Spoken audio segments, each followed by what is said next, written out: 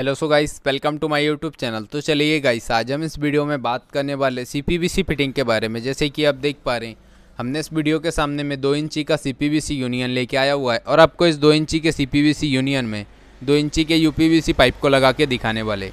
तो चलिए इस वीडियो को स्टार्ट करते हैं। अगर आप हमारे इस चैनल पर नए हैं तो प्लीज़ चैनल को सब्सक्राइब कर दीजिएगा। बेल के आइकन को प्रेस कर लेना है, ताकि हम इस तरह की नई नई अपडेट्स आप तक पहुँचा सकें। एंड हम आपको बता दें कि इस दो इंची के सीपीवीसी यूनियन में दो इंची के यूपीवीसी पाइप को लगाने की बहुत ही सिंपल सी ट्रिक है, जो कि आप बिना प्लम्बर की मदद से ही अपने आप, अपने घर पे ही अपने हाथों से इस वर्क को कर सकते हैं।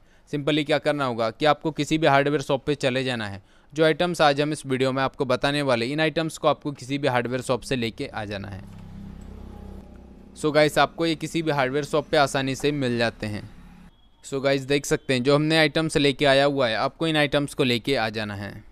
जो कि दो इंची के हमने सी पाइप को और दो इंची के यू पाइप को भी लिया हुआ है।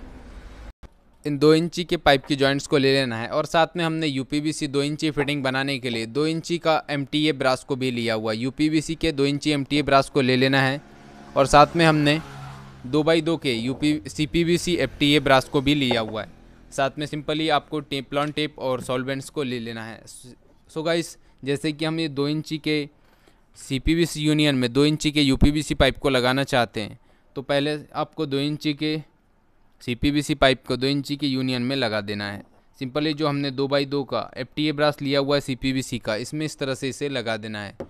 सो गाइज़ देख सकते हैं, जैसे कि अब हम इसमें दो इंची के U P C M T A brass को एफ़ टी ए ब्रास में लगाने वाले हैं, जो कि सी पी वी सी की एफ़ टी ए ब्रास में यू पी वी सी का एम टी ब्रास आसानी से लग जाता है। सिंपली आप जब भी इस एम टी ब्रास को एफ़ टी ब्रास में लगा रहे, उस टाइम टेपलॉन टेप को निकालते हुए इसमें इस तरह से लपेट देना है, अच्छी तरह से, और इसे इसमें लगा देना है। तो गाइज़ देख सकते हैं सी पी वी सी के दो इंची यूनियन में दो इंची के U P V C pipe को लगाने की ये बहुत ही सिंपल सी ट्रिक है, जो कि आप अपनी साइट पर इस ट्रिक को यूज़ करके अपने वर्क को पूरा कर सकते हैं। सो so गाइज़ जब भी आप इस फिटिंग को इस ट्रिक को यूज़ करें टेपलॉन टेप और सॉल्वेंट्स का ज़रूर यूज़ करें, ताकि फ्यूचर में लीकेज जैसी प्रॉब्लम कभी ना बने।